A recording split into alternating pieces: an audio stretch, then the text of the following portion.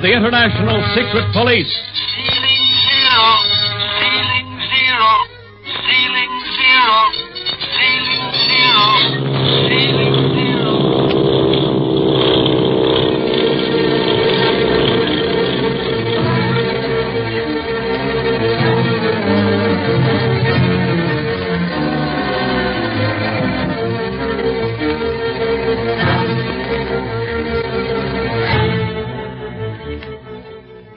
Smuggling activities of that genius of evil, the octopus, have brought Speed Gibson, his uncle, Clint Barlow, and Barney Dunlap, all members of the International Secret Police, to Hong Kong, China, to end the criminal's career once and for all.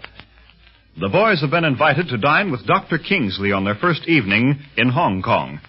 Clint has planned to ask the doctor what he knows of the neighborhood indicated on the map that Marcia Winfield's brother sent her. Another member of the party rouses his suspicion, however. Mr. Wu, a high caste Chinese who, in reality, is a member of the Octopus Band.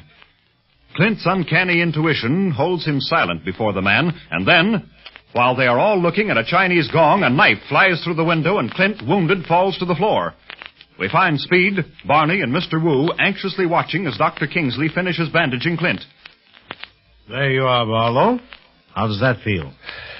Well, as well as any knife wound can feel after a good doctor's taken care of it, Dr. Kingsley. You were lucky. That knife was aimed for your heart. And would have found it if you hadn't shoved me aside. Sure would, Clint. It cuts in the arm just about at your heart level. And I can thank you for saving my life, Doctor. An eye for an eye, a tooth for a tooth, a life for a life. Master Gibson saved the life of the doctor's small daughter. The doctor saved the life of Mr. Barlow.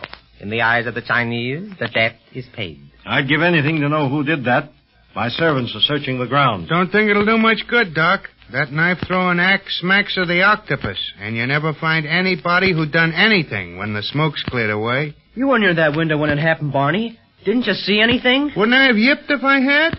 I was admiring the window itself, not looking through it. Ah, yes, the Chinese moon window, large and round, so as to let as much of the moonlight in as possible. A charming legend is written about the moon window. If you'll pardon me, Mr. Wu, I'm more interested in the legend about this dragon knife than in that of the moon window right now. Oh, quite so. The dragon knife was once only the property of royalty. The old empress, Tzu born Lan Kui, had several. Her favorite was made of pure gold, studded with pink jade and diamonds. Well, the Boxer Rebellion did away with the old empress and her autocracy. Mm, yes. But the dragon knives live on. They are only used on those of high standing. Oh, you take it as a compliment to be punctured with one of those sabers, huh? In a way, yes. It is an honorable death. Well, I don't see anything honorable about a knife being thrown from the dark. I think the octopus and his gang are nothing but a bunch of cowards. You're right, Speed, and if that knife had been poisoned, as they so often are, that scratch on the arm would have been the end of your uncle. It was almost the end of Miss Marcia. She just about fainted when she saw Clint go down. Yeah, it's too bad she and Jean had to see that. You did the right thing in sending him to Jean's room while you bandaged Clint up, Doc. Ah, it's a bad business. I spoke to Miss Winfield about staying on as Jean's governess, but she said that she had business to attend to elsewhere. I don't like to see her going about China alone, not with this octopus organization at work. Yes, it would be better if she stayed here with Jean for the time being. And what are you going to do, Mr. Barlow, Uh, do? in regard to this octopus? Mr. Wu, uh, I haven't the slightest idea. Hmm. I believe the hour is growing late. I had best be going. May I drive you and your friends to your hotel, Mr. Barlow? Uh, no, thank you. I've already arranged with the rickshaw boy to pick us up here, Mr. Wu. Very well. I shall look forward to our meeting again very soon. Well, um, I'll see you to the door, Mr. Wu. Thank you. Good night. Good night. Thank you so much, Doctor. And good. What do you think, Clint? I know the octopus isn't wasting any time in trying to get me out of the way. You gonna cable the chief? No. Not until we talk to our tea merchant tomorrow morning. By the way, why did you tell Wu we had a rickshaw boy calling for us? That's not true because we didn't know when we'd leave. I told Mr. Wu that because, first, I didn't want him to know at what hotel we were staying. Second, I wanted some time alone with the doctor. And third, we're not going to the hotel tonight. We're going to stay right here. Here? That don't make sense. Uh, more sense than you can get through your thick head, old pal. I've got a hunch that whoever threw that dragon knife is waiting somewhere along the Langshu Road with some other assassins. Suffering wang doodles. Gee whiz. Exactly. And now, as soon as the doctor returns, I'm going to show him our map and see if he recognizes any of the streets marked. The octopus isn't wasting any time. Neither will we.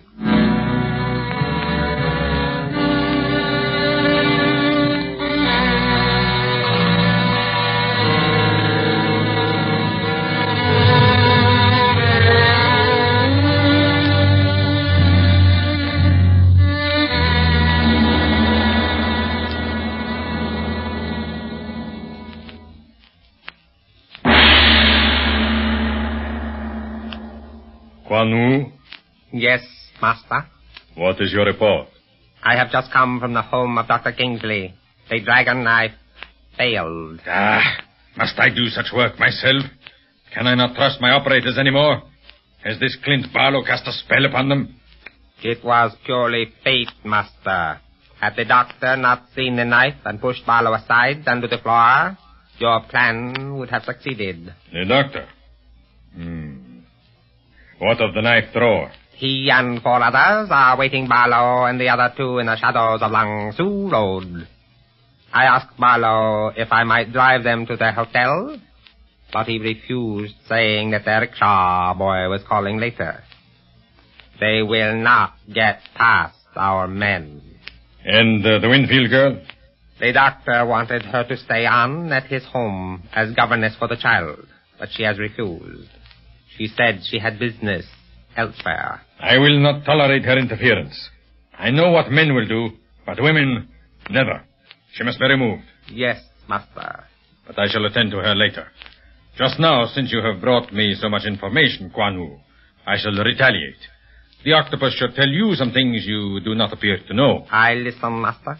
I have information that Clint Barlow, Speed Gibson, and Barney Dunlap are not staying at Fowler House as you thought. No, but they led me to think that they would. May I remind you, Wu, that you are not dealing with ordinary detectives.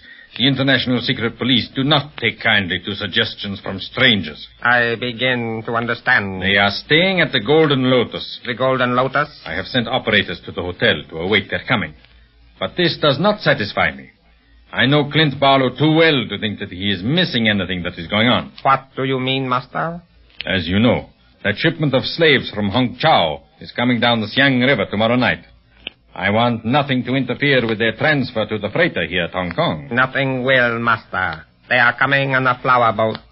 No one will dream, seeing dancing girls and blossoms above, that slaves are below the deck. Perhaps. But I will make sure that no one will dream anything. Not only will my men go to the Golden Lotus tonight, but await the coming of the secret police. But I am sending some to Dr. Kingsley's home, just in case Barlow decides to spend the night there.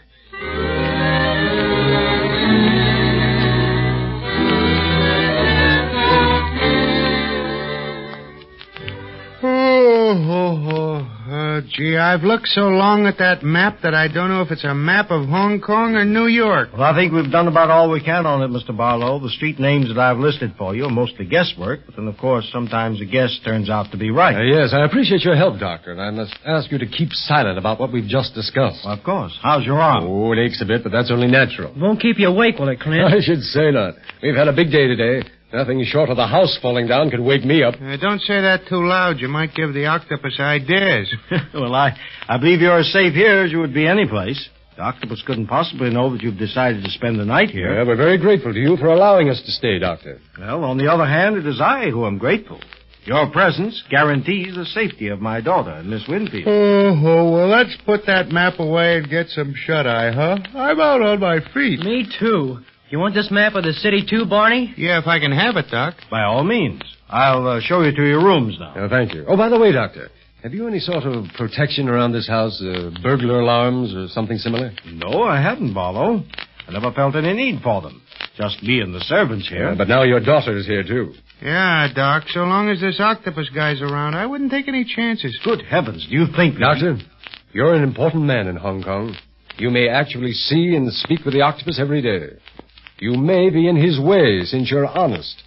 Has he ever sought to contact you? No. But he may be watching your every move. His eyes are those of his spies. If he should ever want you to shut your eyes to something crooked, or want you to do something for him, he may force you to bow to his will through your daughter. Why, he wouldn't dare. I'm in the diplomatic service. I have full protection from the government, and the added protection of being an American citizen. The octopus recognizes no boundaries, Dr. Kingsley. The world is his chessboard, and those who stand in his way are pawns and kings to be moved as he wishes. Yeah, but his game is a lot rougher than chess. Hey, where you going, Speed? Just over here to the moon window, Barney. I want to take another look at it. Oh, look at it tomorrow, kid. Let's go to bed now. If I stay up much longer, I'll fall asleep right here. Okay, just a second. Your arm isn't bothering you any, Clint, is it? Oh, no. Feels great, Doctor. Clint and me look like we're fresh out of the hospital. Him with his arm bandaged and me with a black eye. If I hadn't had my credential papers in order, they never would have let me land at any of the ports. Said I looked like a desperate character. Clint, Barney, what is it, Speed? there's someone prowling around in the garden. I could just make out three guys, and I think there are more. Someone in the garden? Would they be your servants, Doc? Why, no. They were in the garden searching for Clint's assailant.